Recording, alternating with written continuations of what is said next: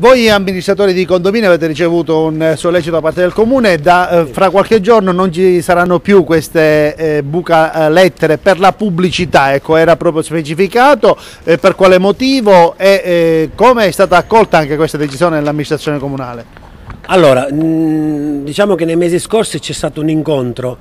tra l'assessore Palermo, che è diciamo, l'assessore a ramo, e tutti coloro che fanno questa attività in maniera professionale di amministratore di condomini e nel tentativo di trovare una soluzione perché eh, diciamo, a volte è un problema questo dei volantini eh, si è ipotizzato diciamo, di comune accordo di togliere in tutti i condomini le cassette esterne pubblicitarie. Perché anche se inizialmente hanno avuto uh, diciamo, eh, un'efficacia perché i volantini venivano messi qua eh, con l'andare del tempo è andato a finire al contrario. Cioè eh, i ragazzi che effettuano il volantinaggio li mettono nelle cassette pubblicitarie a distanza di qualche minuto, a distanza di un, magari di, di, di un paio di ore, eh, probabilmente qualcuno che non fa parte neanche del condominio o gli stessi condomini, probabilmente prendono questi volantini e li gettano a terra. E da lì si determina, moltiplicato per tutta la città, un volare di volantini in tutte le parti.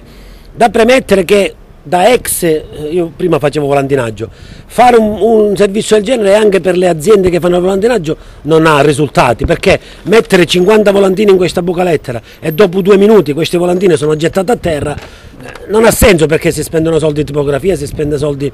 per la distribuzione e quindi non ha senso. Sarebbe meglio che invece chi fa il volantinaggio mette volantini all'interno delle singole buca lettere, quindi non sporcando l'esterno e quindi questa situazione da parte degli amministratori è stata accolta bene.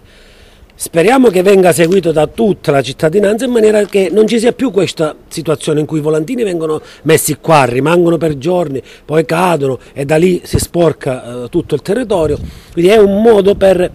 tutti assieme aiutare un po' la nostra collettività. Molti però decidono anche di non eh, ricevere questo tipo di avvisi pubblicitari, la legge lo prevede loro scrivono eh, quindi di non lasciare avvisi pubblicitari ma soltanto alla posta. Come si potrebbe conciliare quindi la classica bucalettere con questa nuova esigenza delle imprese comunque attraverso il volontinaggio di eh, pubblicizzare le proprie attività?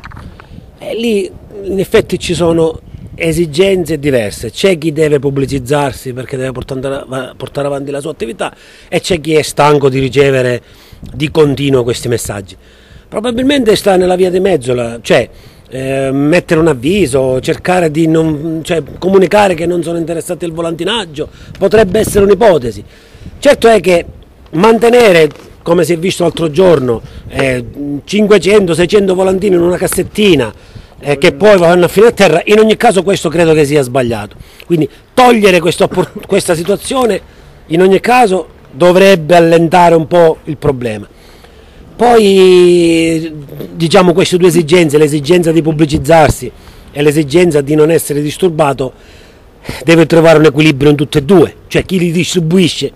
se capisce che c'è un avviso che non vuole non lo mette e chi invece lo deve ricevere alla fine non è un avviso, non è che per forza... Comunque speriamo che dia dei risultati perché